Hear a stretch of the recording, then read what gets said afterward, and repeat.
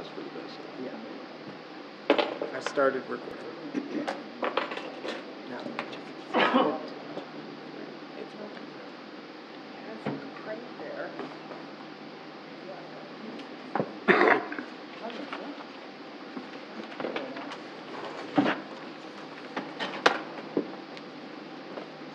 All right, calling this meeting to order. allegiance to the flag of the United States of America and to the republic for which it stands, one nation, under God, indivisible, with liberty and justice for all. Roll call. Pipia, Present. Fry, Present. Schroller, Here. Hughes, Present. Beichman, Present. Price, Here. Barons, Here. Brom. Seven, oh, we got a quorum. Okay. All right, uh, first up is the approval of the minutes. Approval of minutes of regular meeting, August 9th. Second. Okay. Have any changes, discussion? All in favor, say aye. Aye. Aye. Opposed? Okay, And uh, first up, we have a policy hearing. Yes, that's you.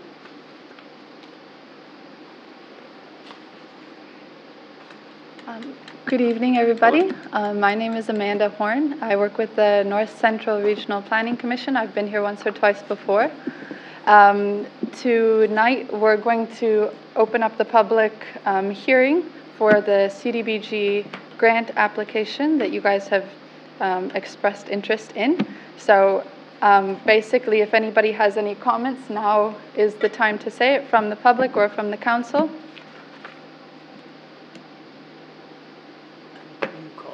Oh, Does anybody have anything to say? All right, Okay, no comments. All right, so um, some of the things that we, we um, have to do tonight is actually to go over um, what exactly is happening and what documents need to signed in, in order to proceed. So, um, as you guys know, you guys have had some problems with your lagoons, and Thaniel has been working with you guys from BG Consultants. He's come up with a proposal and a preliminary engineering report, and um, the option that was laid out as the best recommended option is going to be costing in total about $3,787,400. And that's for um, a new lagoon cell, um, an additional wetland development, the screening and, and additions and upgrades to the lift station, a new lift station essentially. So um, because we're working with CDBG, they've changed one of their rules where if a project is over $3 million, then you need to have design done ahead of time. And because design can take an awful long time and it takes a lot of um, time as well to get approved by KDHE, we're, there's no ways we're going to meet that um, deadline and be able to apply in time. So what Thaniel and I have done is we've actually decided to split it into two phases. So we've got phase one, which is going to be the wetlands and um, the new lagoon cell, and then phase two, which is going to be the, your screening and your lift station. And those are actually going to run parallel, but we've called it two phases because now what that means is we can keep the wetlands and the lagoon under the 3 million mark, and we can apply for CDG, CDBG grant for that. So it's going to be 600,000 of CDBG for that, and then um, the other one is going to run on its own through KDHE. So he had suggested KDHE and CDBG funds as KDHE for loan, and there's an option for loan forgiveness if there's enough um, loan forgiveness available. We will not know that until about December or January, but we're going to try and apply for it and get as much as we can. Um, and then the CDBG grant, the most that you guys can get is 600,000, so we're applying for the full 600,000 for that as well. Um, so you guys have shown an interest in us as NCRPC to help you guys through that application process and to help you administer the grants.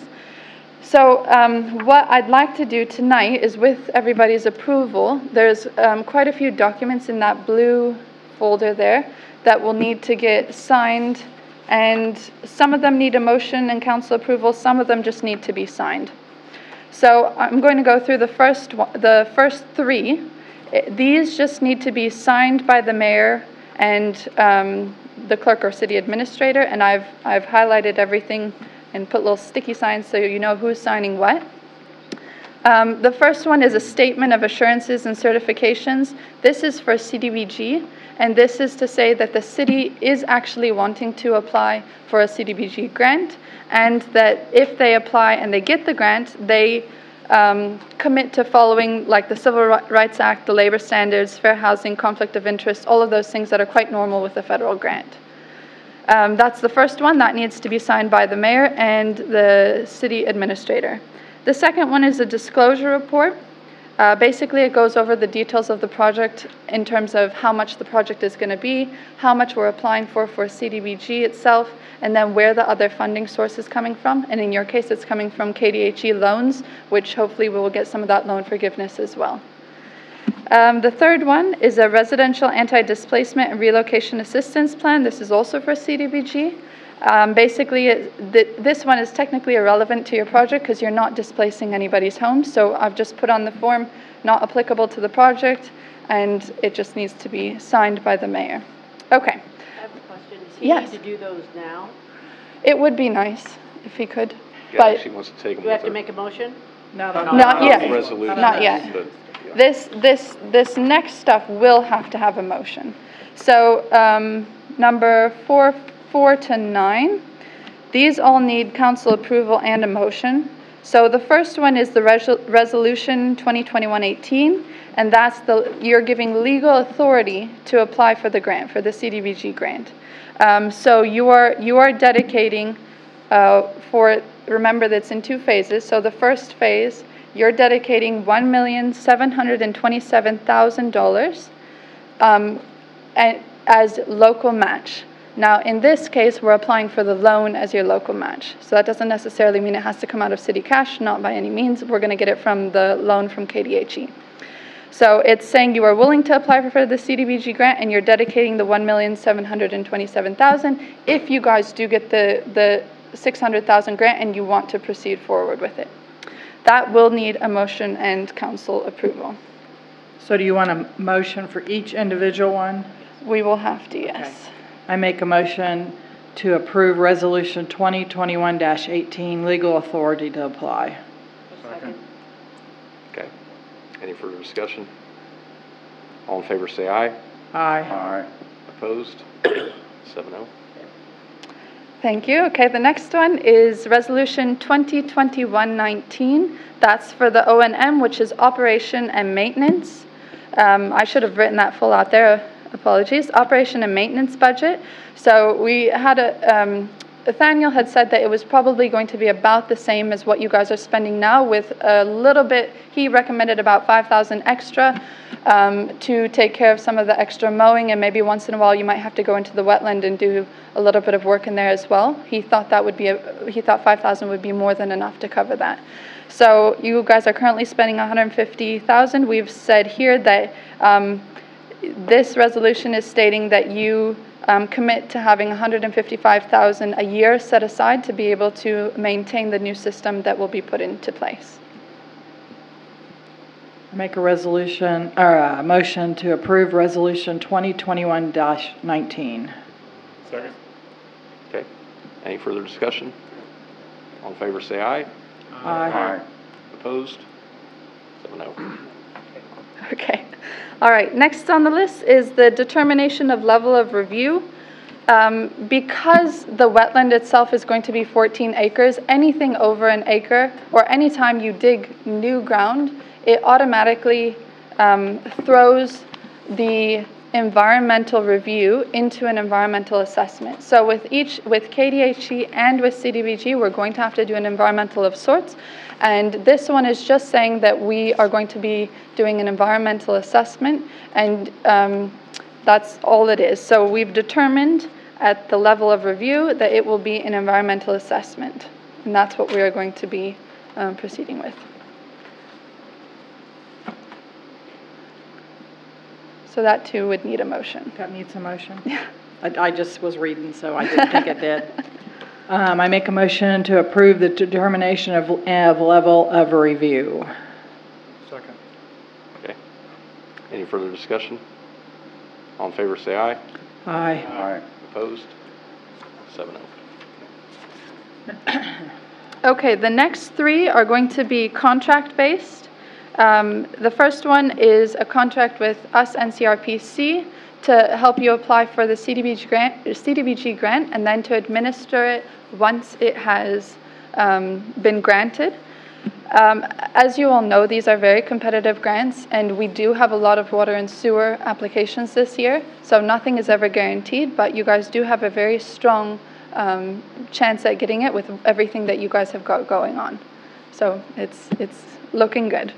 Okay, so um, we charge uh, $500 to apply for the application, but if you guys get the grant, then that fee falls away and then it's down to nothing again. The one thing that does um, cost a bit of money is the environmental assessment that we've just talked about.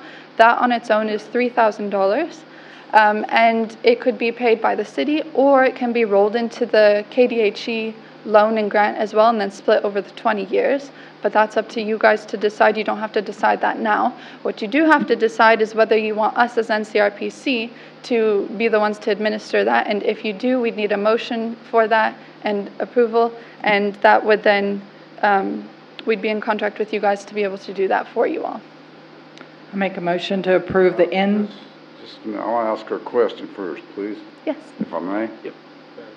About this, because there's a continuing thing in this where it could be fifty dollars an hour, but we don't know how much that might be on top of that, is that correct? Uh, No, on this one, it's just very set fees, so it it would be five hundred for the application. If you guys did not get it this year and you decided not to apply next year again, then that five hundred dollars would be due. But it's, that's a once-off cost, not a, not a continuing cost. I, I think, What's the fifty dollar per hour max if uh, we're charged if help's requested? I think that's on the next one for the KDHE application, and I will definitely explain I'll that. ask you in another minute then. Yes, I, I will be sure to explain it when we get there. Thank you for asking, though. And then the, the 20,000, I, I didn't mention the 20,000. So the 20,000 is what um, we charge over the three years, but that does not come from the city money, that comes from the grant money itself. So it still costs the city because they'll be taken out of the grant money? That is true. It can be seen like that, yes. Yeah. make a motion to approve the NCRPC application and administration contract. Second. Okay. Any further discussion? All in favor, say aye. Aye. Opposed? Seven oh. All right, so the next one is for the KDHE application and environmental contract. Um, We charge $1,000 to cover expenses associated with the loan application and with the environmental, so it's about the same. It's $500 for the application and then another 500 for the um, environmental. However, since we are going to be doing an environmental with CDBG, um, it's, we use some of the same processes, so we drop that 500 fee. However, and this is why I say it, if for some reason um, you don't get the CDBG and the, you know, you don't get the loan forgiveness you're wanting and it, everything falls apart and nothing works, then you decide not to do it, that would be what we would charge. But otherwise, it would just be $500 for the application fee. If CDBG goes through and we do the environmental, the full environmental, then it's um, the 500, the extra 500 is dropped. So now, um, what the $50 is, is that recently we have been having to contact the tribes quite a bit, and with this project, we will have to because we're digging up more than an acre of land. Um, and if the tribes come back to us and they say, um, you will need to perform a cultural survey, which requires archaeologists, uh, we, we can handle all of that on your behalf, but then that's when we charge $50 per hour up to a max of $500. And I will tell you, I'm currently dealing with this, and I've spent over three weeks worth of time dealing with this. So the 500 max does not cover what we put into it, but we've got, NCRPC has got other grants that we try and use some to keep the cost as low as possible for the cities.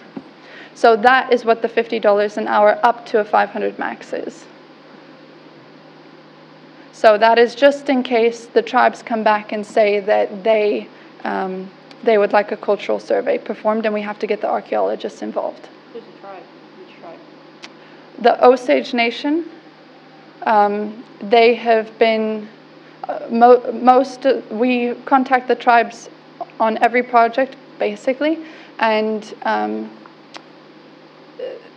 the Osage Nation recently has been coming back with a lot of requests for cultural surveys to be completed. So, and because we want to respect their land and their wishes, we um, make sure that we get good archaeologists to follow up with that. Um, I'm going to go through the KDHE administration contract, and then if you don't mind, you could do all three of them at one time to save a bit of time. So the next one is the KDHE administration contract. Um, so this is once approved and the loan has gone through. There's um, paperwork for requests for payments. There's employee interviews. There's labor wages, um, payrolls that have to come through, and we ask 4,500 to cover the loan administration and the associated meet- meetings with KDHE that comes with that on behalf of the city. So those are the, the three application, or the three contracts. It'd be one for the CDBG um, uh, administration, one for the KDHE application environmental, and then one for the KDHE administration. So you, you do eight and nine together if you want. Okay. I make a motion to approve the KDHE application and environmental contract and the KDHE administration contract. Second. Okay, any discussion? All in favor, say aye. Aye. Aye. Opposed? No?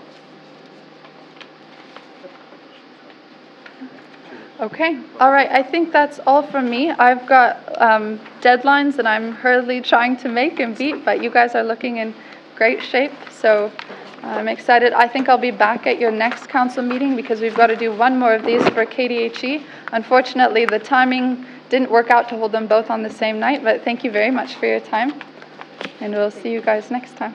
Thank you. Thank you. Thanks, Amanda.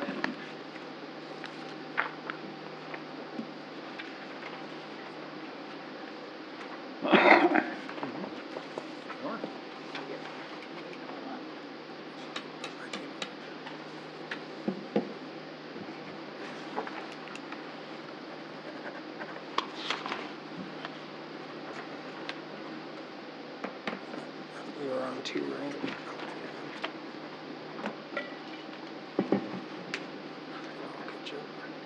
You're not getting my, my signature or something. They'll believe you. It's mostly a bunch of scribbles.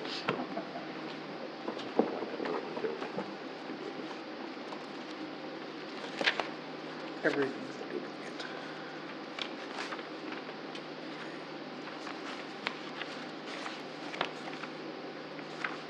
That's the one, that first one.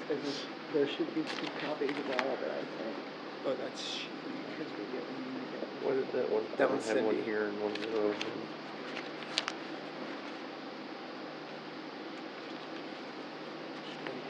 I think I got them all in this one. Yeah, you got that Yeah, one. that one just threw me, there was two on one page. Because you're attesting to this and to everything above that.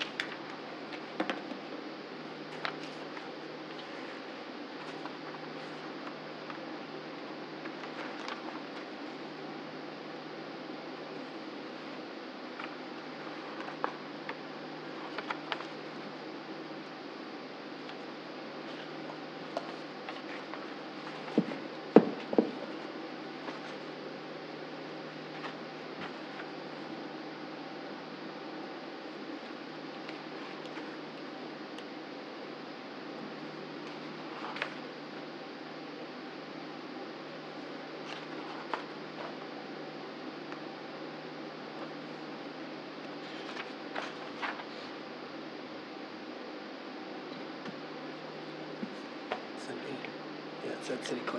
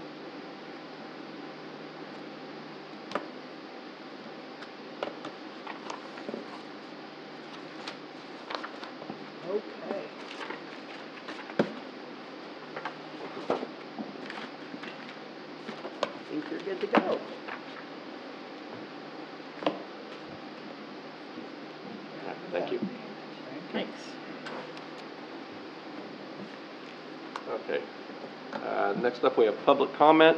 Is anybody here for five-minute public comment? Mark Hoffman with the uh, Pony Express Gravel Dash. I just have a couple quick things for the event coming up in about two and a half weeks. Um, We've had to change our route and the way we're going to leave town, so I need to uh, change the uh, police escort um, direction that we're going. Originally, we were going to go on, from Broadway south on 8th Street through the city park, out on Highway 77 south of town. Now we're going to go northeast so we'll need to go across Highway 36, going north on 8th Street, all the way up to uh, Jayhawk. So we'll just need to change the route for the police escort. Um, I can just get with the police on, police chief on that. Yep. Is that okay? Um, the two sets of bleachers that are usually down in the corridor, I think right now they're behind Todd Landell's buildings down there, former Hass Auto area. Uh, we want to see if we could have those moved to the uh, 600 block area of Broadway, possibly that Friday of the event. So we got some extra seating for uh, people near the finish line. And possibly some of the picnic tables. I know there was some down on the 7th Street corridor recently, kind of in one of the parking spots. I'm not sure where they are now, but maybe if we can get some of those. I'm not sure if the wagon wheel's wanting to use those in their area. If not, then we might uh, try to put some around in the area that we're going to have blocked off. I did have a question on the, the, where the buildings are being demolished there west of the Pony Express sculpture. I didn't know what the, is the ground going to be rock or dirt or what, what the status will be in two and a half weeks or Dirt. dirt? Okay. Do we need to have that like roped off, caution tape, just keep people out of there? Or, I didn't know I if you mean, wanted. if it's, m- I mean, if it's muddy, it should be black dirt. Um, If uh, it's we'll dry- loo- We'll look at it at that point in Want time. to get but- closer? Yeah. Okay, I mean, you know, we can rope it off, just to keep people walking across there If, if, possibly. if or- it's dry, it's not gonna hurt anybody. Okay, Yeah. that's what I needed to know, so. That's all I had. Uh, Any questions for us? Okay. Very simple. Yep. Any problem moving those bleachers then? No? Just get a hold of city Yeah. street crew, Ju- yeah, week. no, ta- call City Hall and we'll. call city hall Yep. and make Yeah. arrangements for that. You that. said six hundred block? Yeah. Yeah, I was actually thinking maybe putting them kind of where the buildings are being demolished, facing the street, kind of backed up to the sidewalk possibly there, Okay. you know. In the street? That'd be like Yeah. the Seventh Street Okay. corridor about. What's that? That's at the Seventh Street corridor about? Yeah, it'd be just west of the Pony Express sculpture, you know, along Sixth Street there, because we're gonna have that block entirely blocked off. uh, I mean 600 along block. Broadway or along Sixth Street? Broadway, On Broadway. Yeah, I was gonna, that's what I Yeah. was saying. is the Yeah, on Horse Broadway. Bike, But on, facing south, By kinda backed up to yeah. where they're demolishing By the the buildings there. Seventh. okay. All right, thank you. Easy Thank you. Thank you. Thank you. Okay. Anyone else here for public comment? I am. Yes, Diane?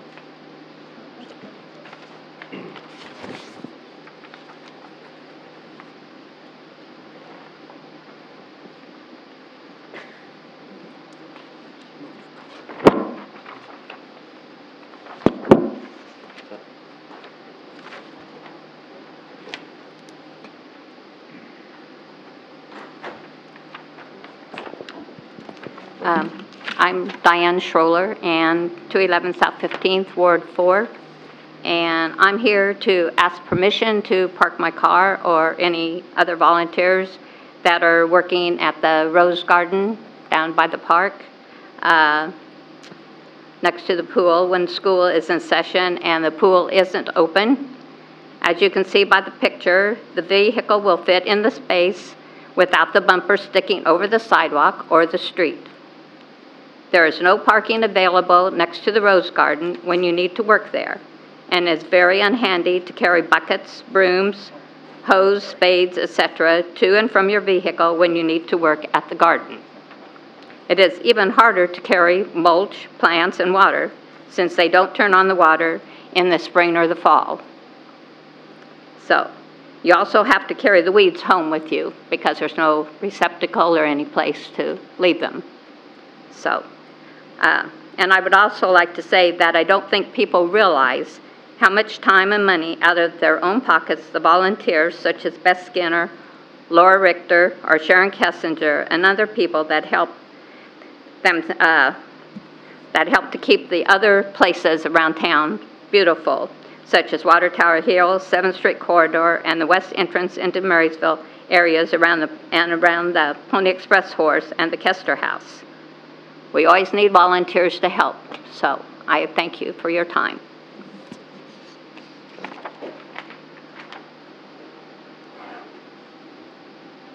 I don't know, was there, was there an issue or something, or what? Okay. Well, I just want to know if I can park the car there. Well, I- I don't, What's council's I don't thoughts see no now? problem with it. As long as it's not on the sidewalk, I don't have a problem with it. Yeah. Or in the street. So, or either one of them, then it's subject to the deals that we have about them. Oh, You're good to go. Okay, that's all I need to know. Okay. So that's consensus of council is, okay. All right. Um, yeah, I mean, we'd like to say thank you for all the volunteers, because we know that does take a lot of work and time to keep that looking nice.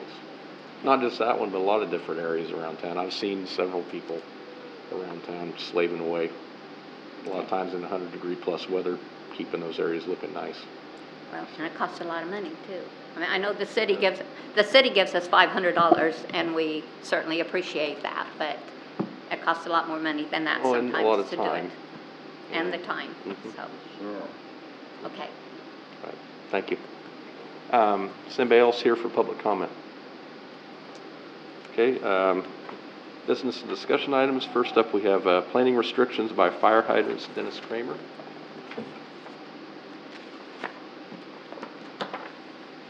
Hello. Good evening. First of all, uh, my name is Dennis Kramer, and uh, I want to thank the City Council for allowing me to come tonight and speak to you uh, about uh, a letter that I received, a violation of uh, some plantings that are growing near a fire hydrant. Um, I live at 801 North 9th here in Marysville. Been there since September of 1973. The plants that are, have caused an issue have been there since 1974. In the 47 years that they have been there growing, I've only had one comment from any city employee regarding them, and it was about uh, sight, to make sure that there was enough sight for people going around the intersection, the corner. Um, uh, But that's, that's the only, that was about 15 years ago, so I haven't had anything since then. Uh, I didn't know about the, the ordinance, so I apologize. And the only reason why I share that is because I just want to establish that I, I didn't intentionally violate an ordinance. And I don't know if the ordinance was in effect there in 74 or not. It may have been. I was, I was told that the, the mandate is that the plants need to be 10 feet uh, beyond a hydrant. So when I received the notice, I immediately went out and got my chainsaw and went to work on them. And, um, and I was cutting away, and then I thought, well, I would contact the city to, to see if I was in compliance or not. So I called, and uh, uh, Ms. Holly was very uh, cooperative and very, very helpful. Uh, she told me I needed to speak with um, Mr. Ralph, which I did. I called him. He came up immediately, very kind. Um, he inspected the area, the, uh, the efforts that I had taken that far uh, at that point, and he told me to stop. And he said it wasn't necessary to trim any further, uh, that what I needed to do is come and, and present my, my situation to you folks. So that, that's what I'm doing here this evening. Um, so what, I, what I'd like to ask is that I would like to work with Mr. Ralph if there's anything additional that I need to do to make sure that the property's in compliance. I think the, the corner is very attractive. It's uh, unique. Um, I've had a number of people that have already stopped and uh, come to my door and came, came to me and said it's very, very beautiful, looks very neat. It looks like it's the windswept look. If you've ever been to the West Coast in California, it kind of has a um, Monterey cypress look, if you know what those look like. Um, and that was my intent. Uh, for those of you that are bonsai enthusiasts, it also has that sort of look. Um, but, but I realized, though, that at the very base of the plant, one is 10 feet back from the hydrant, one is 8, and one is a little over 7. So one, one is in compliance, the other two are not. Uh, these three sisters have been together for a long time, and I'd like to keep them that way. Uh, the foliage itself is pushed back well over 10 feet. So foliage is not an issue. Um, so I don't know, I, I sent a picture down so that you kind of have a look, see what, it, see, see the indication of it. So the base, and it flows backwards and out away. Um, I, I intentionally took out uh, um, a lot of branches so that there would be a good, in- a good site. I've asked some of the neighbors uh, what they thought, um, and they, they all are wanting to see it as, stay as it is, but then I understand that uh, I, I need to plead my case here. What I did do, though, is I, I did go online, and the National Fire uh, Protection Act allows for three feet uh, and not 10. But it does make this comment, and it, and it says that um, except otherwise required or approved. And your, uh, uh, that with, and you may not have been around when the ordinance was, was placed, but uh, for, for, for the most part, um, this particular ordinance says 10 feet. Um, that recommendation is three, uh, and I can't argue that either way uh, because I need to comply with whatever the ordinance says.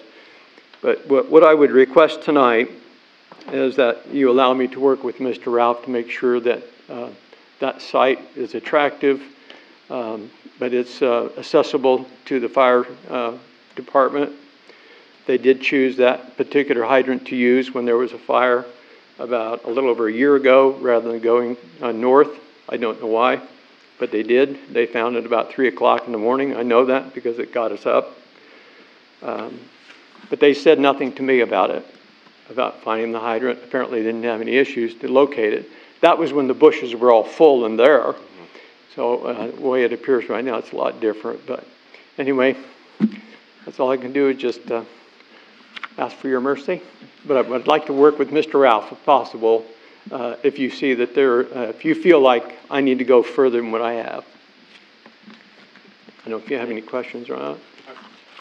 If I were, if I were a betting man, I'd say that ten foot was a, just a round number that, when that was drafted, where that ten foot came from. So, I mean, I don't, s- we have what, what, fireman over there? It What's the fireman's opinion? My opinion, three feet around. enough to wrap a hose and turn them on. And if you wanna know why yours was found that night in the morning, cause it's the direction the trucks come from. Okay. The chiefs get there, call out the hydrants first, that's also an orange one, so it flows good water. That's what we like to hook up to the truck is the bigger hydrant. That way you have what you need. Um, we have another ordinance that presents a problem, that's, no, No. no, we, we have another ordinance about fire hydrants. And it's fifteen feet. Oh. So I think what we ought to do is I think we ought to let him leave it just how it is, mm-hmm. because I think it looks really good. Mm-hmm. I think that we ought to hear from the Hendersons, and I think we ought to table some of this and have some discussions about this. Because we have a few issues. Is where I'm at. I'm very grateful. I want to thank you very much. Yeah, I, I think it looks great. I, honestly, I didn't have a huge Yeah, problem looks with it the way it was before. I just would've liked it trimmed up so you can see it a little clearer from the street. It looks great now, though. And, and the- moving forward is going to be much easier to maintain it this way, from, Oh, from my I'm- I'm perspective. sure. And, and the reason why is because it's pushed away from Yeah, it, it's- and to do any kind of trimming now, it's, it's automatically gonna, they'll stay away, so, thank you very much. Thank you. Thank you, Dennis. Yeah, no. All right, uh, next up, we have planning restrictions by fire hydrant. Debbie Henderson?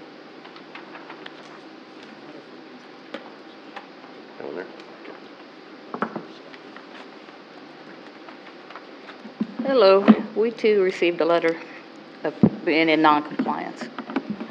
And when we built the house, we, we immediately covered our corner because we have, like it says here, we live fifteen oh Park, oh eight Park Place. We have a fire hydrant, telephone pole, water meter access, and a street sign. So to pretty up that corner, we made a, to make it more attractive and easier to maintain, I edged and cornered with rock bushes and daylilies. And every, every plant we have is full-grown. As you can see in the one picture that the city took, full access to the fire hydrant. It says plants have been planted on that corner for 25 years. Once there was a complaint about visibility, and we trimmed that tree down. It said the bushes to the city's satis- satisfaction. Another time, the city needed to work on the water line. I believe they replaced the fire hydrant. And when they did that, of course, they had to tear out all the plants, which is understandable. And they told us, and that was fine. And then afterwards, we replanted, made it pretty, fixed it back with new rocks and smaller plants. So the bush that was the problem to begin with was never replaced. So the spire wreaths we have aren't even as tall as the fire hydrant. It says, now we received a registered letter stating plants within 10 feet of the hydrant have to be removed pursuant to city ordinance. They re- represent an obstruction. The city ordinance of 10-foot perimeter has never been followed or enforced. Says, I know this because no one has ever mentioned it in 25 years. So we took this built, this photo of an old building, you can see the building. Fire hydrant's five foot away from it. So, I don't know, either the city okayed the the building or the fire hydrant was put in after the fact. But either way, no one was concerned with the foot, ten-foot perimeter at that time. And then it says I have a telephone pole, street sign with a hydrant. They're within four to five feet of that hydrant. And if I'm to understand that my bush is eight feet away constitute an obstruction to the access, then they do not. It Says I took pictures of this telephone pole on the high school. You see a picture of the high school, or the, the telephone pole, but anyway, it's proximity, I could put two flip-flops between that and the telephone pole. Okay, so otherwise it would be more concern of a multi-million dollar school and the lives at risk in case of a fire. Those aren't squashable. My plants can be stepped on and squashed and, and I'd be okay with that if we had a fire. And it says, I realize telephone poles and street signs will be exempt from the ordinance. So what will be enforced? It says, I took this picture of a tree within four to five feet of a hydrant. Notice its diameter. That tree has been growing there for probably 40 years or more. It's no more of an obstruction to access than those telephone poles. Are you now going to make the owner remove it because it falls within 10 feet perimeter? perimeter? That big beautiful tree is providing shade and comfort to the homeowner as well as home and safety to birds and small animals. It'd be a crime against nature to cut that tree down in answer to an ordinance that has never been enforced. On the Koester Block corner, there's a picture there too. The beautiful lilac bushes along that perimeter of the property. On the corner is a fire hydrant, and those lilacs are only about, I'd say a foot maybe, or a foot and a half from those bushes. Says they don't constitute an obstruction to access. Is the city going to remove those lilacs and open up that corner? I hope not. It's a beautiful corner, and they do concerts there, and, and it would be terrible to take those down. It said they provide a beautiful hedge and resi- resist trespassing on that property. On my corner, my plants are all at mature size, and they don't hinder access to the fire hydrant. Actually, my oldest plants, closest plants to the hydrant are twice the distance than the city's lilacs. You can clearly get to the hydrant from either street, and I don't know why after all these years this ordinance is now being made an issue. What I do know is the city has been devoting much time, energy, and money in making this community more attractive. It's incongruent with, to make its citizens who have, who have only done the same, tear out their landscaping. To satisfy a city ordinance that's never been followed and never been enforced. I hope this council, council will revisit this ordinance, sensibly discuss it, and make appropriate changes to it. And I appreciate you listening, but I don't, I just don't understand it. I mean, I know it's been there, like you said, fifteen years now. I hear it goes back to fifteen foot at one time, ten foot now. But like Dennis said, you know, with the fire people, three feet was, was good. So I don't know, I just hope you can revisit it, maybe discuss it, and A lot of times, if there's about one thing, Yeah, it snowballs into, unfortunately, situations like this. If somebody has one complaint, and Will does his job very well. He- he's a middleman, really I understand that. He deals with the public very well, but Will's got his job. And because he was asked about a different situation, now we can't do one situation without encompassing all the other situations. Because it isn't anything to do with you, or it just, the situation happened, he got called in, you know, the city got, it was brought to council, and now this is the result of it. So, there we are. there's probably a handful in this entire town that has anything planted by their fire hydrant. But I mean, you can't move the buildings that already exist right there. I mean, it's just not possible. And the trees that have been there for years upon years, you're not gonna even wanna attempt to move those.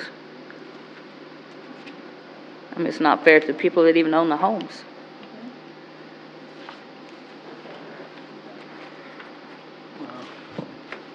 I mean, we could shape ours up, but, you know, they're still gonna be within, We don't need shade mm-hmm down. It's like this. That registered letter gave us a choice. Either removal before September sixth, or the city would remove them at our expense. I'm not tearing out my own landscaping. Not when it's not obstructing any access to that fire hydrant. So, good leadership leads by example. Y'all wanna tear out your all's lilac bushes? I don't think so. Nor would we want you to. And I'm not tearing out my bushes. I'll let the city destroy that.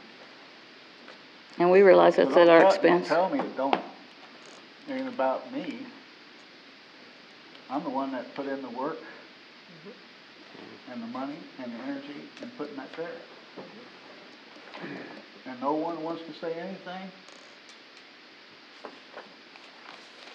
When I built it and maintained it? Repaired it after the city took it out, and they were happy with it then. So, y'all, go ahead, do what you gotta do, city can do what they gotta do, and then I'll clean up the mess afterwards. That's the reason I wanna table this. There's gotta be some common sense brought in here. Right, but Yes. if there's, right, I agree, and how do we make sure that, I mean, You know, we, we don't wanna be been people that don't comply. I mean, we don't. There, But- you are the, there's no penalty applied okay. at, in So we that can part of the delay code, but any you, removal it- till it- this the gets council solved. is the, Y'all talking at once. How about one at a time? Okay, well, I think we should not do anything until we get this looked at by committee or council in general. And I think we totally should delay agree it. with you. And I second you on that. I agree.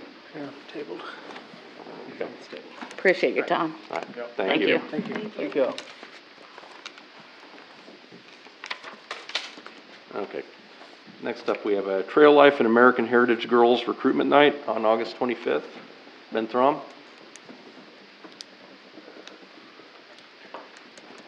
Good evening, Mr. Mayor and Council. Um, I'm Ben Throm. I'm here representing American Heritage Girls and Trail Life uh, USA. Uh, we're having our annual recruitment that we have every year. We've had great luck recruiting out at Country Club Lake, we appreciate all the work the, that you've done out there to make sure that grounds are great.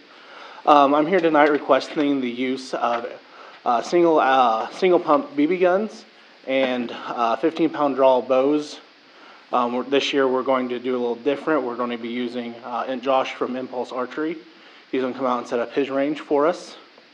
So we're going to have qualified supervision out there. As you can see from the map that I provided for your packets, there, um, everything's going to be taped out. We've talked to Chief Ackerman, and he has approved this event. He has no complaints from last year, and we've successfully held this event for three years, and we'd just like permission to do it again. Is this the same spot as you did last year? Yep. Okay. Yeah, but it works great there. We've talked to uh, JC and uh, Vince, and they don't have any events going on there Wednesday night, so it will just be us there than anyone who shows up to use the fishing docks. And we'll have the police tape surrounding it to make sure that we have qualified supervision over all events. Move to approve. Second. Okay, any further discussion? All in favor, say aye. Aye. Opposed? Seven oh. Okay. Thank you, council. Thank you. Thanks, Randy. Hey, Yeah, you better take that. Yes. I'll put off to that. Sure you will. You beat me to the punch here. Thank Um, you. Next up, we have the Mar- Marshall County Sport and Rec contract.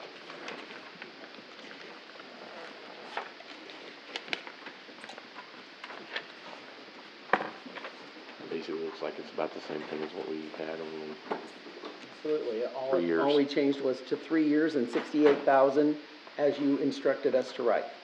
I changed it, John looked at it.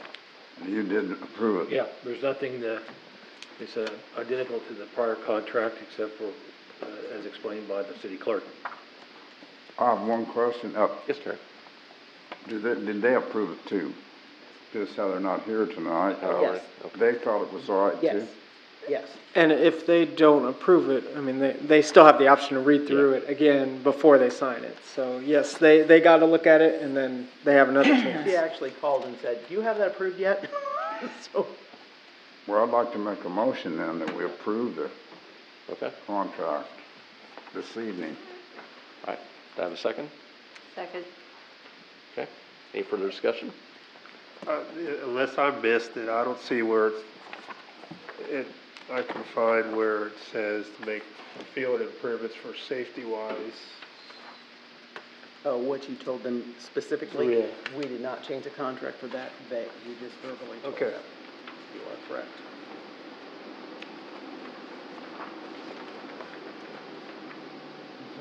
Okay. Any further discussion about anything else on there? Oh, Nope. Okay. All in favor, say aye. aye. Opposed? Aye. Okay, six one. Okay, we do not have any notices and hearings. Uh, next up is the consent agenda. Move to approve consent agenda. Second. Okay, any further discussion? All in favor, say aye. Aye. Aye. Opposed? Seven oh. All right, next up, we have appropriations ordinance number thirty-seven fifty-four.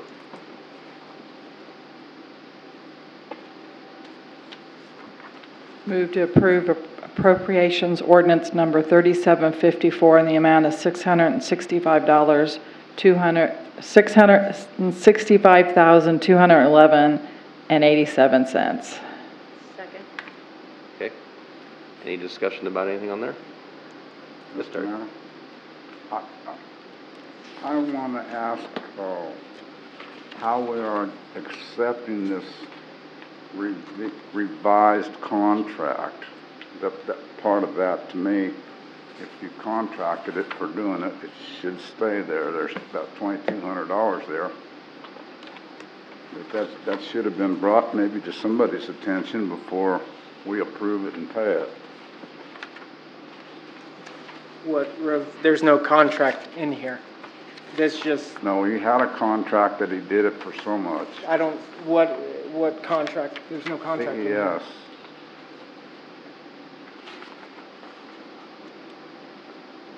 You're on page thirty-two, is that right? Page thirty-two. If you look at the bill. I, I realize the part that's in this book is so much was for Eleventh Street Road, but this is a revised thing. If somebody did have a revision, maybe it should have brought to somebody's attention if we're gonna revise something that we already had a contract for. It just says you revised the project on Seventeenth and Jacobs. That's all the invoice says. I don't know what we revised it for, why they charge us extra. They charge us like twenty-two hundred on the water project. But I didn't know what was revised. Did it come straight to you guys? Uh, It says phasing. Well, go and look at it. I didn't know if we changed the water project a little bit or what. I didn't ask CS to do anything extra. Oh, okay. I didn't know. One like a change order or something. Is that the fire station?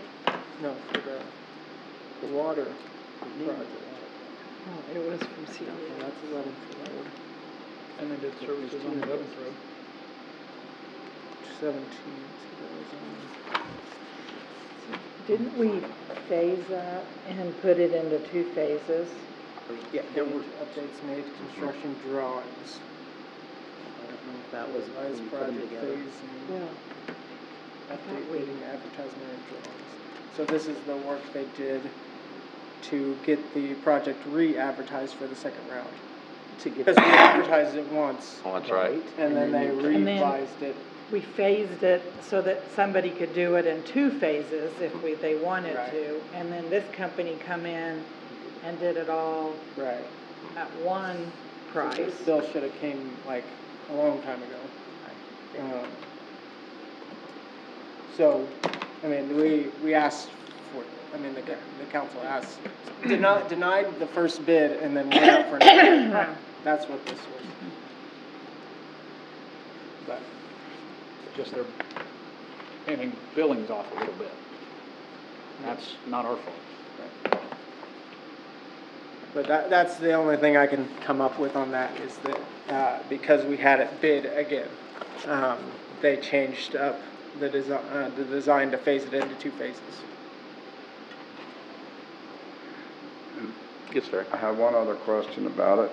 Uh, I noticed whether they get, ever get used or not, we, we've got ninety-six railroad ties all of a sudden we purchased for the shooting range. Yes. Oh. When were they, when were they ordered? Who, who's, How much, how much were they? they were seventeen hundred and fifty-seven dollars. Seventeen hundred and fifty-seven dollars, that's, uh, for, um, they were ordered like a month ago, um, for the fire range. It was in the police report. Right, It was discussed clear back when the police range was shoved up, right. that they were gonna put in to help stop the erosion. It, it was a matter of finding somebody close enough locally that had them. Right, and we, we have a line item for the police range to, or the fire range to All right, maintain it. just wanna know about it Yep. because when I see it on there, I didn't remember here lately talking about it. Right. That's my only two comments about it. All right. No, I can, I've read all of these. Any further discussion about anything on there? Roll call? Pipia? Yes. Fry? Yes. Schroller? Yes. Hughes? Yes. Beichman? Yes. Price? Yes. Barron's? Yes. No. Seven? Seven oh. Right. Uh, next up, Austin with the staff reports. Okay, I do have, I didn't have anything listed, but I do have one issue that came up today, um, that I wanted to uh, talk to the council about. It has to do with the demolition over here. Um, demolition going fine, there are some issues they'll probably have to, uh, iron out, uh, in the future. Uh, replacing the sidewalk along, um, the highway is one of them. But, uh, I'm gonna pull up this picture real quick. Um,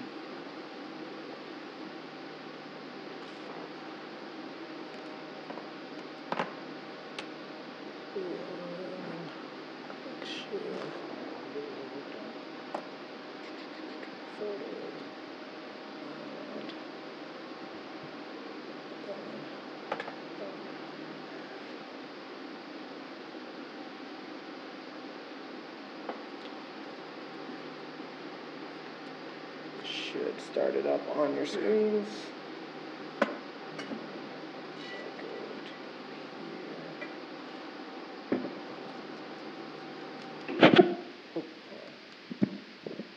I apologize. I was just playing with this earlier. Is that the only reason you're doing this? Yes, this is the sole reason I'm doing Yep, this. there it is. Yep, there it is. Um, okay, as you can see, uh, the adjacent building, uh, that is, we are not tearing down. Um, uh, it's a beautiful wall, um, that we were gonna stucco as, as a part of this project. Um, after evaluation by Steve Bloomer of Inline, uh, this stucco is not going to stick to what's there. Uh, as you can see, the lower part of this, the limestone bri- uh, bricks don't have any mortar, um, uh, and all the way up, it's just, it's, it's, um, kind of in bad shape. And he made the statement that this building was in worse shape than the, or at the same level or in worse shape than the ones we just took down. Okay. Um, and, uh, so I'm wondering how do you guys want to proceed with this? This is definitely their wall. Mhm. Um, Whose wall? Well, the owner of that building.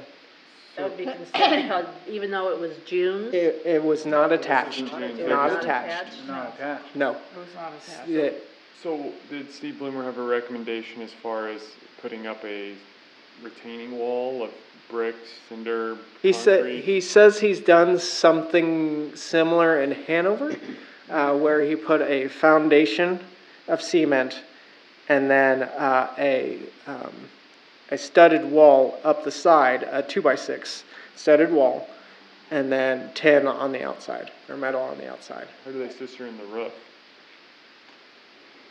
I'd have to ask Steve that, um, but they, um, I know what they're talking about. Have you seen it? Yeah, I- I've seen it too. So that was one option. That's probably not the only option out there, um, but it, it's it's there. Um, again, this is the owner of that building's wall. Uh, technically, they should probably pay hundred percent of it. Have they been consulted yet? Uh, he's talked to Steve on this one and tried to sell the building right there. Um, That's We better. Who owns it? um, it's, it's Charlie. Uh, Yeah, Charlie Fredericks. Charlie. Fredericks. So uh, Charlie Fredericks owns that, owns this building. He owns the company that owns it or whatever. Yeah, he has some Yeah. other houses. He has it in a name, but yeah, it's Um, Charlie's. But Is the building occupied? Yes. That's Pay, where, pay. um, I, I feel like ten and Harbor two, Inc. by- two by sixes is kind of a slapdash temporary answer. I mean, if that building's gonna stay, you know, it'd be nice to Feels have like something there that a maybe you could paint a block mural on or I think we ought to something. get a couple options here, yeah, yes, yeah. because I wonder if you couldn't shotcrete it. I wondered about that. couldn't- Shotcrete it and smooth it throughout. I think the I don't know if you stone can. is falling out. Right, I don't, I don't know if you can, that's the reason I asked that. uh, there is, there is the other issue. I didn't get a picture of the front. Um, Steve had pointed out, uh, on that building that's still there. Um, he, I mean, to tie it in to what we just took down. Um, what we just took down, I forget which building it was. I think it was the first building next to the pony. um, when Steve went up with his bucket to take down the front wall, he put his bucket there and pulled back. What he got was the backing to the brick. And he stated he's never had that happen before, where the backing to the brick just came off. Uh, what he surmised from that was that uh, the ties for the brick had deteriorated away. And uh, the dangerous thought came to mind that anybody walking in front of that building uh, potentially could have a literal ton of bricks fall on them. Um, and that's kind of what I'm afraid of is in the next building. So that, that building's owner should have a structural engineer probably check that out, right? Yes. That's really the best. That's probably it for his own interest. Yeah. Yeah. So, I mean, it's not really our building, so we really shouldn't have, we sh- really shouldn't have to worry about it. correct. Um, that, I mean, that's, that's kind of what I was thinking, but there, I mean, there's a thought, and this is just spitballing from the other side, that we, we technically uncovered it. That doesn't mean we caused it, that doesn't mean, uh, it, it, it- and more than likely, ninety percent of the time, they were already deteriorating. I, I mean, that's just the certainty that- that we have right now. Um, and we were gonna stucco it, so it looked nice, uh, but at this point in time, that doesn't, is not gonna work. That is not gonna work. Um, uh, So, since we were already almost anchored into uh, fix, covering that wall up, I thought I'd bring that as a talking point. So, what I'm getting from the council uh, is that we pro- uh, should probably discuss with Charlie uh, that he needs to contact a structural engineer at the, um, um, uh, to evaluate his building. Is that what I'm getting? Yeah, and I think we can, I mean, kind of pause our options, but we should explore what we need to do to help improve the, the mm-hmm. look and also, I mean, we did, we did expose it on some level, so I mm-hmm. don't think, you know, we should try to hang a cinder block wall on the neighboring landowner or anything like that, but Right. I don't think we should do anything yet. It's, I assume there's, they're not worried about water infiltration or anything at the moment. We did not discuss that, but probably. I mean, it's, it, there's not, Oh, It looks like it would be a water issue. it, it's, it's Uh, probably not going to. Couple doors that they just shut. There, saw that.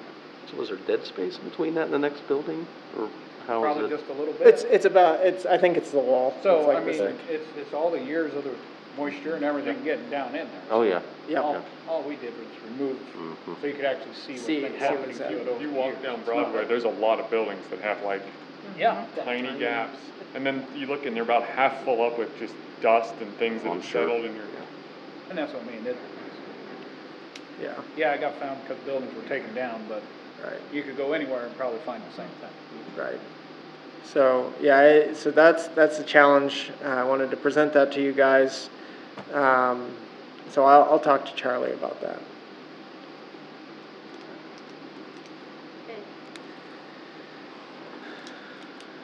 Is that it? Anything else? That's all I got. Uh, next up, standing committees. Uh, anybody have anything on street? I noticed there's some crosswalk lights out. I meant to, I noticed today, I meant to just call down, but well, it crossed my mind. At Fifteenth and Center, the, at least the northbound ones, and since kids go to school there and stuff, I don't, I don't know, there's probably kids that'd be confused if the light's not flashing to stop, the, uh, just the crosswalk signal. But it's the kind of thing I don't, you know, they wouldn't report until somebody notices, who the heck knows? So. Okay. Okay. Anything else on the street? Yes, Diane? Twelfth Road, I've been getting lots of complaints about Twelfth Road. It's really yeah. bad. It is. Well, it's as bad as, I mean, it's been bad for, Well, I know, but apparently it's getting really bad. I don't know if we need to just tear it up and put it back to gra- all gravel, or Well, I mean, that's, the chuck holes That's are an bad? option. The guys just threw some gravel in them and they, it doesn't stay. I mean, I, I don't know. uh, One person took their folks' old truck out there instead of his car because he won't drive on it, so it's, I mean, we really do need to do something about it, apparently. you know, I mean, it's been an ongoing, I mean, we've had discussions about it before, what to do about it. We've talked about tearing it out and putting gravel back in. But then they complain that it's gonna be too dusty. It'll be dusty. Well, it's partly, it's So partly, du- it's- it's partly dust, I mean, it's partly gravel anyway, so, I mean, sometimes I think gravel, at least you can maintain the gravel. There, there's better rock out there than what we have been putting out, you know, different rock instead of the red rock. Get the white rock, get the, the better rock, you know. Granted, you're still gonna get dust and dirt, but it's gonna settle better. And it's not gonna just go to goo when it rains. I'm talking Didn't about, we- the I'm talking about the blacktop, I'm not talking Yeah. about, I'm not talking about the gravel, I'm Didn't- talking about the blacktop part Didn't of we it. discuss one time about possibly having our guys doing the, kind of an overlay out there? Yes, and, and that was, And I know that's not a long-term permanent That's- fix, but It's- it is That's what we did on cheaper. Keystone Road, and it was pretty decent for like a month. Yeah, it's not gonna work. It's just such a short-term solution. It's not a long-term fix, but it's a Needs- cheaper, it's, I'm just throwing it out there. Yeah, I It's know, but the Cheaper, it's an road- improvement for a while, at Good least. intentions and slapdash I know. responses, you know? Like I say, if you've already knocked the base out of it, which you have in the holes, then it's, all you're gonna do is you're gonna put that on. A Couple semis drive I know. over it, you're gonna be right back to the same alligatoring, and then as soon as you get some water and some freezing, it'll pop it right out. It'll be, And it'll actually be deeper, cause it's Yeah. thicker everywhere around the hole. yeah, it'll be deep. You'd actually have I know. to fix the holes correctly. You have to dig them out and mat them. It all back. needs dug out, yeah. I disagree. And not to change the subjects, but Yes. speaking of holes, places that probably need dug out, North Sixteenth Street up by the cemetery, it's got a spot or two that's gotten really Something's going on rough. there, ain't it? Some, I don't know if something, spring's trying to pop up or what, but it just about wrecked me on my motorcycle the other day. There's I a ridge noticed it, I in the middle of Sixteenth, yep, Yeah, it's got a ridge right in the center of the road. yeah, it's pushing up. Out of nowhere, I didn't notice it till this year, so. And I don't know if it's street or water, they're on 509 South 14th. The barricades are still outside of their driveway, and we need to do something about, it. I mean, they're getting a little tired of backing out of their driveway and having to worry about the barricades out there, Do they have so. that street completely opened up yet or not? No, 509 there's just a South hole, 14th. there's just a hole in the street, and they put the barricades outside the driveway, so. Oh, okay. It's a water fix. Um, It's not a big hole, but it's a little hole, but they need to, I don't know if they've ever checked to see what the problem is, or, like I say, I don't know if it's water or if it's the street, but there's something under there. I don't know, do you know? is I've it- talked, I forget, it's been a couple weeks since I've visited that one. I mean, I know they've been busy, I mean, I've seen them on a couple different projects, and they had another sec, another I mean, area tore up today on. the We're going road. into fall now, and, you know, it, Oh, we know. don't really want this. And then what about the eye doctors there? What, why is that just left open there? Um, barricades there's, there. there's some large rocks that we need to figure out how to move out of the hole. Oh, Yeah. I mean, that's water, I'm sorry, we're, we're into water now. No, that, that, that one's a landscaping issue because the, the retaining wall fell into the hole and, uh, Oh, yeah, we just need to figure out how to get the, the retaining wall out. I see, okay. Um, anything else on street? There's a lot of, uh, grass and weeds growing up in some of these streets. I don't know if we need to spray them or, but they're not small is what I'm getting. They're, Yeah. you know, right there between the gutter and the street where they meet. All that's gonna do is make that crack bigger and create us bigger problems.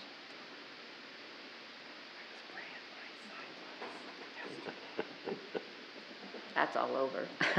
Yeah, I know, I know, but that's what I mean. I We know, need I to start know. working on it. And, Yeah. and that's what I say, I don't know if it's us, I don't know who it is that needs to do it, but I don't know, I mean, I generally, but I mean, before they do the chip and seal, they clean them all. Right, you know, but if it's weed not eat it on a all chip and down seal and- route, No. it doesn't work. If, if we're a, if we're able to get up and down it with a, uh, this, um, street sweeper that usually takes care of them. Um, a lot of the, a lot of the streets that have it, I mean, the bricks are hard, hard Oh, enough. yeah. But the, um, if, if, These at the, were- ti- at the point in time where this, um, street sweeper goes by and there's a car parked in the way, then, then it's, you, you missed it on that round of the city. And so the only chance is to go back, um, later on, but, so, yes, okay. Cause the street sweeper will keep it knocked down with its bristles. Okay. Anything else on street? Water, wastewater? Parks and Rec? I do on the, on the pool. I, I talked with Cindy this morning. And our pool manager does not have a lifeguard certification. But yet PE class is coming in in mornings and doing their thing. And to me, that's a big liability if nobody in that class knows how to do CPR. Uh, she knows how to do She's C- got CPR. She's Well, CPR certified. and She's I- just not a I'm. I'm, s- I'm still comfortable that, I think our managers in the future has, should have their lifeguard certifications. Have all the others had lifeguard certifications? Not always. Not always. I think they need to have their lifeguards, and I think they need to be able to teach swim lessons. That's WSI. I, I, have to agree with them, it's, it's hard to manage lifeguards if you're not a lifeguard.